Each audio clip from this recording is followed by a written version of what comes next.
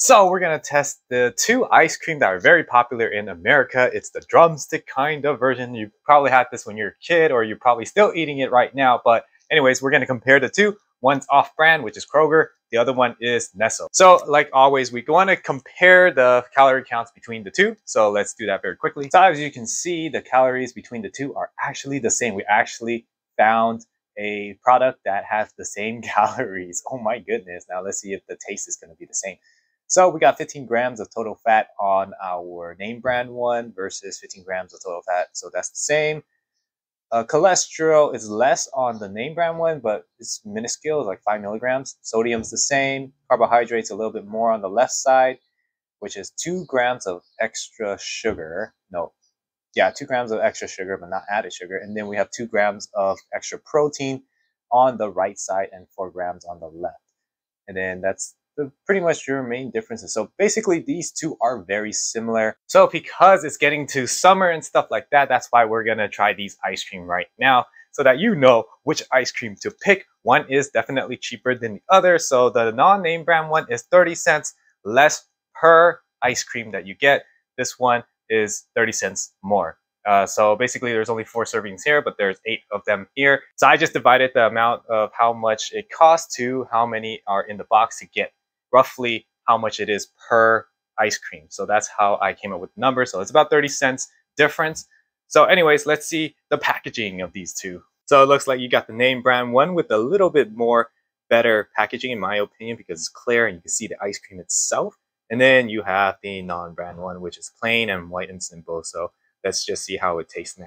One thing I don't like about this is that these things do drip out their little hazelnuts out of the way. So the wrappers are off. Can you tell the difference between the two? So let's see here.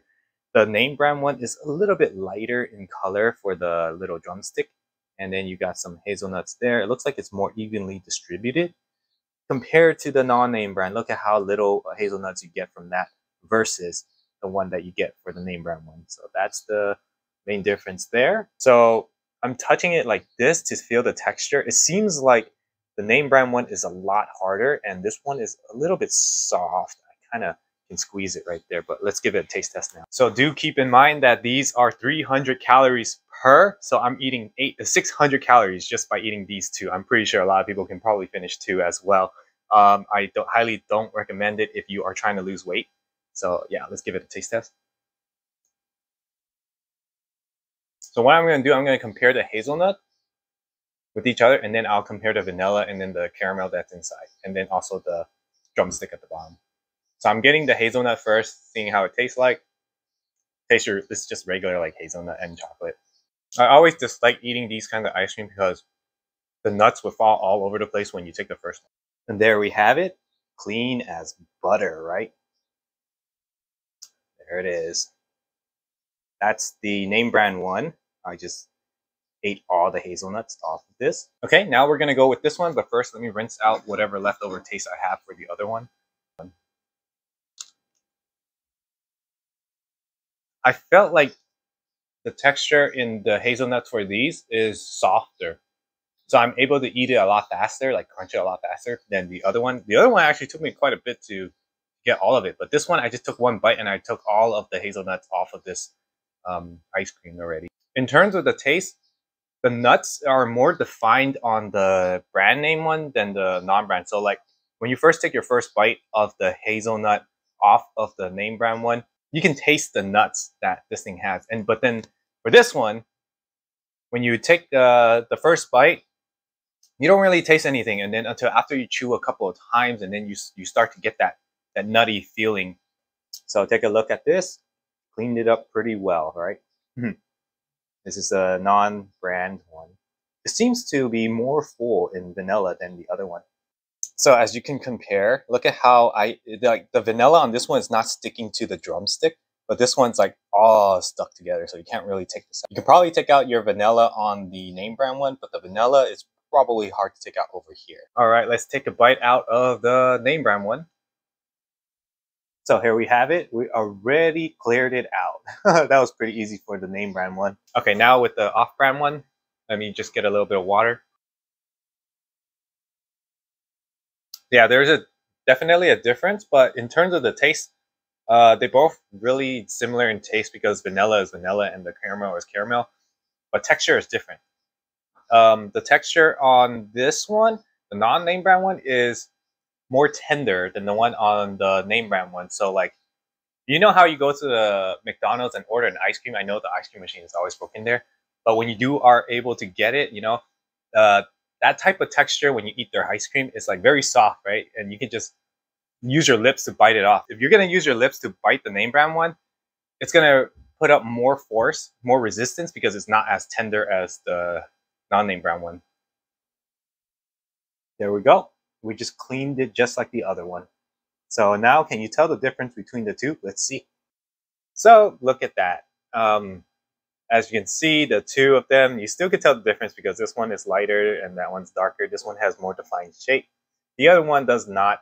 Of course, the left one is going to be yours truly, which is the name brand. The right one is not. So now let's taste the cone itself.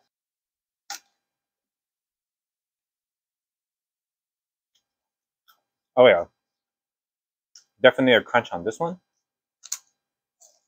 You could probably hear the crunch. So this is the name brand one. So the name brand one does have chocolate surrounded around it. So let me show you. You see there's another layer of chocolate right there. You see the white part and the chocolate part? It actually surrounds it the entire time. So that looks that, that actually looks pretty good, right? And then we got a little bit of chocolate at the bottom of the cone. Look at that. Oh my god, that's a big chocolate. All right, so now let's test the non-brand one. Did you see? Wow. This is very chewy. you cannot hear any crunch. Oh my goodness, you gotta look at this. So remember how you were able to hear crunch sound because it's very stiff, but look at this one. Oh my goodness, look how bendy that is. Look at that. I'm just peeling this off.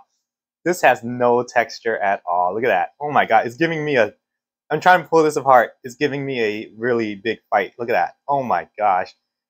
But it does have the chocolate inside as well, like the other one. So we're gonna give this more of a taste. Oh my god, it's like rubber.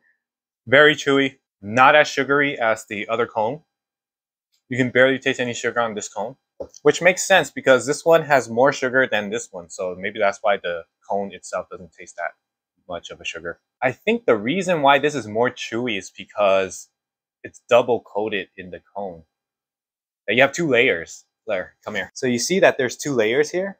See one layer is right here and the other layer is there and then you have a chocolate layer. We did not see that for the other one.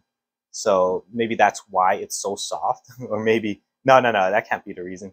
It's soft because of its uh, material that it was made out of. I don't even know what the hell it's made out of. I feel like I'm eating a beef jerky. Look at this. As with chocolate at the bottom as well. All right, guys. So my final verdict is, should you pay 30 cents more for the name brand one? Yes. In my opinion, yes.